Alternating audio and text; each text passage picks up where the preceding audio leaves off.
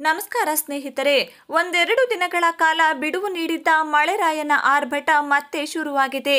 ನಾಳೆಯಿಂದ ಕರಾವಳಿ ಹಾಗೂ ದಕ್ಷಿಣ ಒಳನಾಡಿನ ಜಿಲ್ಲೆಗಳಲ್ಲಿ ಭಾರೀ ಮಳೆಯಾಗಲಿದ್ದು ಹವಾಮಾನ ಇಲಾಖೆ ಆರೆಂಜ್ ಹಾಗೂ ರೆಡ್ ಅಲರ್ಟ್ ಘೋಷಿಸಿದೆ.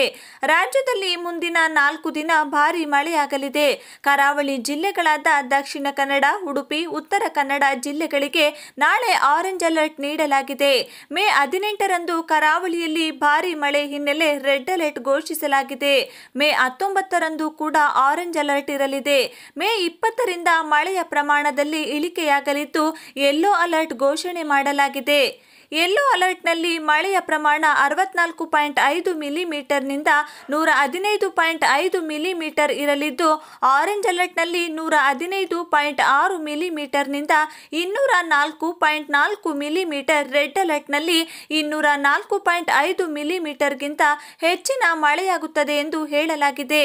ಉತ್ತರ ಒಳನಾಡಿನ ಜಿಲ್ಲೆಗಳಿಗೆ ಮುಂದಿನ ನಾಲ್ಕು ದಿನ ಹಗುರ ಮಳೆಯಾಗಲಿದೆ.